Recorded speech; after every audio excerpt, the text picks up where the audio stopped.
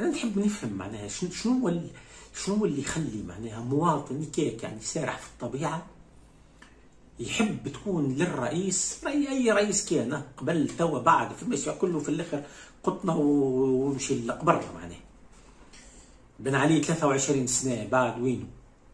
أنا مدفون غريب. حتى شاهد قبر ما عندوش. فماش حتى رخامة مكتوب عليها اسم.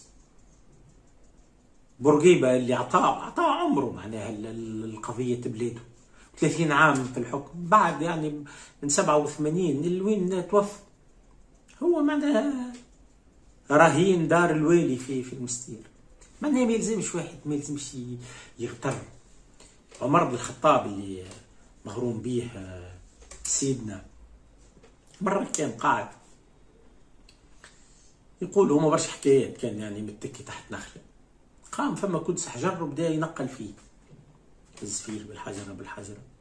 جاوه مجموعة من الصحابة. قالوا له فاش تعمل يا أمير المؤمنين؟ قال لهم أعجبتني نفسي. قال لهم عجبتني روحي.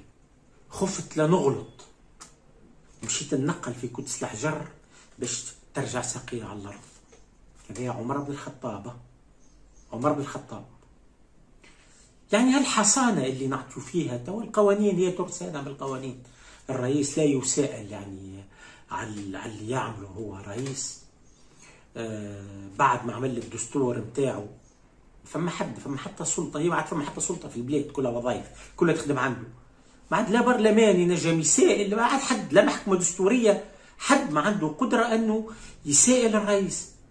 نزيدوا معناها حتى الصحفيين نستكثروا عليهم.